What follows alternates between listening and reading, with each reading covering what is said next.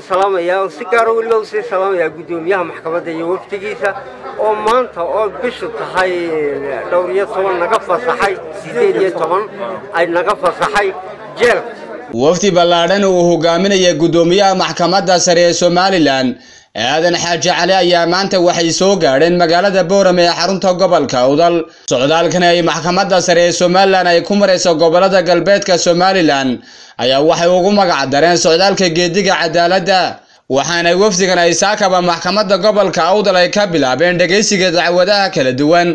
Dad badan ayaana iska soo xaadiriyey hoolka maxkamadda gobolka awdal guddoomiyaha maxkamadda sare ee somalilan iyo wafdigiisa ayaa waxay mid mid u dhegaysteen dacwadahaasi kala duwan. Waxaana ugu horeyn halkaasi ka hadlay islamarkaana warfidyaenka la hadlay guddoomiyaha maxkamadda rafcaanka gobolka awdal sheekh maxamed saawer iyo ku-xigeenka xeerlaaliyaha guud ee qaranka waxaana ay tilmaameen. Si aad ogtihiinba maxkamaddii caasimadda way soo gurtay. Dhammaanteed wax soo marin gabiley gobollada galbeedka u soo baxeen aad baan u soo dhaweynaa guddoomiyaha maxkamadda sare iyo xeer ilaalinta iyo saraakiisha. Yani dhammaantood waan soo dhaweynaynaa maxkamaduhu kolley saad ogtihiin saxaafadda aad ogtihiin wax badan badan bay bulshada u hayaan.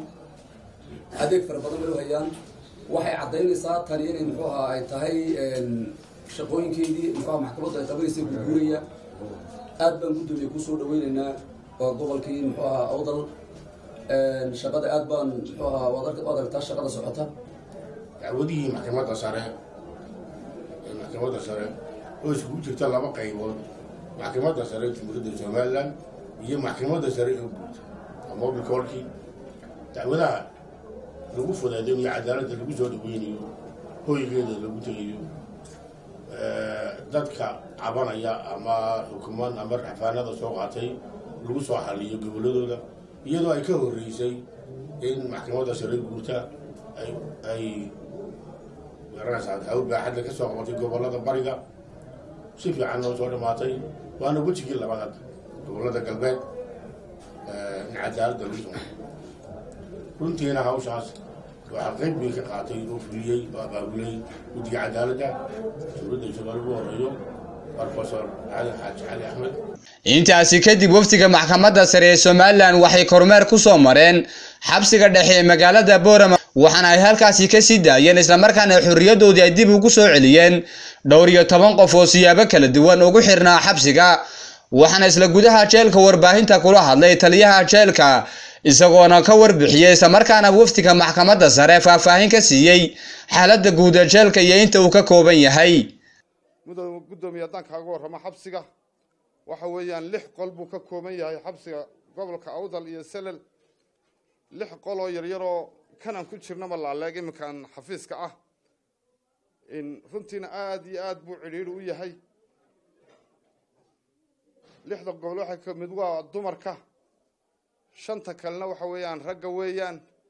Ma kala lahaa micnaha meel carruur lagu xereeyo meel kale ma kala lahaa. Qolkaa dumarkuunbaa u gooniya inta kale shanta kale waa ragga ama ha yaryaraadaan ama ha waaweynaadaan. Marka ay dee janisan helnuun baan kala soocnaa. Midda kale dembiye aan u kala soocno ma laho duruuftaa noo saamixi weyda inaan kiisaskoogana u kala soocno. Yaraanta awgeed. Jeelkan dhismihiisa waxaa la dhisay kun iyo sagaal boqol labayo toddobaatankii baa la dhisay. In halkaa waxaad ka garanaysaa inuu dhismahaasi aada iyo aada u u gaboobay gobolkani wuxuu gobollada kala dheer yahay dhulgariir wax la yidhaahdo.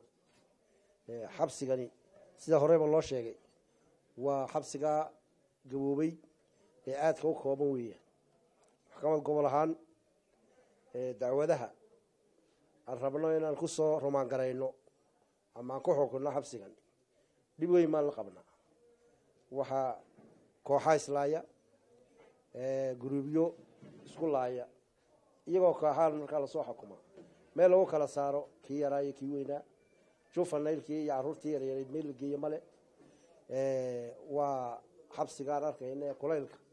Aan fadhiilaana intaan qada lahayn meel loo jeesta lahayn. Dhankiisa isaguna waxaa halkaasi ka hadlay guddoomiyaha maxkamadda sare ee somalilan aadan xaaji cali. Waxaan u nimi xabsiga inaanu xaaladiisa ogaano qof qof u eegno taliyaha xabsiga iyo saraakiishiisa dhegaysano maxkamadihii gobolka dhegaysano xeeraalintii gobolka dhegaysano saddexdaa haydood baa ka wada shaqeeya. Dabadeedna markaa aanu eegno wixii qareen u baahanna waa idinka arko qaryaqaanadii baa hablayeynamaba meeshii socda oo diyaar waa inay bilaash ku difaacaan oo goboladii horena soo maray oo nala shaqaynayay in imika qareen loo sameeyo oo la siiyo. Ha oo loo sameeyo waxaa jira imika tusaale ahaan waxay ka wada shaqeeyeen bahdan maxkamadaha iyo garsoorka iyo asluubta iyo shacabkii cid waliba. Maalindhood waxaa la sii daayay dad yamana oo lagu lahaa xaq madani oo lacag badan bay ahayd. Waa laga wada shaqeeyey boqol iyo soddon kun oo dollar ayay ahayd. Boqol iyo soddon kun oo dollar. Waa lacag yar maaha culimadii baa ka qayb gashay waa la ogaaday. Sidaasoo kale hadday jiraan dad xuquuq lagu leeyahy oo ehelu soo socda ana aanu jirin. Cid ka bixinaysa ana aanu jirin. Waa in loo ololeeyo si aanay halkan ugu baabiin xaaladda kale xabsiga guud ahaan ee xagga maamulka iyo caqabadaha haysta iyo wixii aanu la qabanayno maadaamay madaxdii ugu sarreysay garsoorku halkan marayo inay wixii fariina faraan intaanu halkan gobolka joogno wixii aanu qalinkeega kula qaban karno ololayn waxaa kaloo nu ku bashaaraynaa inuu socdo xabsi wanaagsan oo cusub inuu gobol ka socdo. Qof aan maxkamad sharciga xukumin xabsigaa kuma jiro. Taliyahaasina qof hay'adaan maxkamadda ahayn kama qaban karo. Maxkamadunbaa amarta hebelhay heblaayahay waa la soo xidhay. Siidaa cid kaloo amri karta. Walaa xeeraalin walaa qareen walaa callaan walaa fulaan walaa booliis midna ma jiro. Maxkamaduhunbaa amra. Maxkamaduhun baana sii daaya markaa qof aan maxkamadi soo xidhin halkaa kuma jiro. Saakada anaa guddoomiyihii maxkamadahoo dhana anaa idiin sheegaya dadkaa markaa maxkamaduhu soo xidheen xeeraalintuna eedaysay ee looyaraduna difaacayeen baanu doonaynaa inaynu xaaladdoodii ogaano sidoo kalena waxa uu wafdigu kormeer ku soo maray dhismaha cusub ee jeelka weyn ee ku yaalla bariga magaalada boorama waxaana ay soo indheendheeyeen dhismahaasi. Si kastaba ahaatee wafdigan ayaa la filayaa in maalmaha ay soo socda ay ku qaadan doonaan magaalada boorama iyagoo deegaanada miyigana u bixi doona. Waa imraan xuseen aadan muuqbaayaha telefishanka caalamiga ee star t v boraman.